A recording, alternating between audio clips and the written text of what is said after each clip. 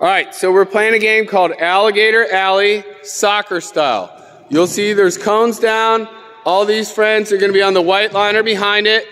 About half the class on that side, about half the class on this side.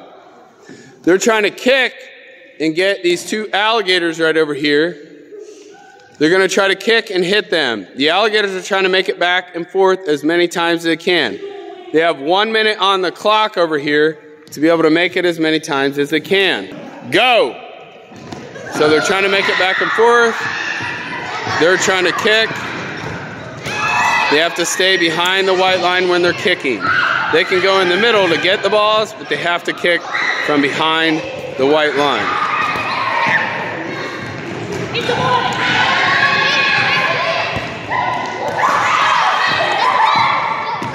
All right. Hopefully that game makes sense for you. Hopefully it's a lot of fun and we have a blast. Here, my reindeer shoot. All right, let's go.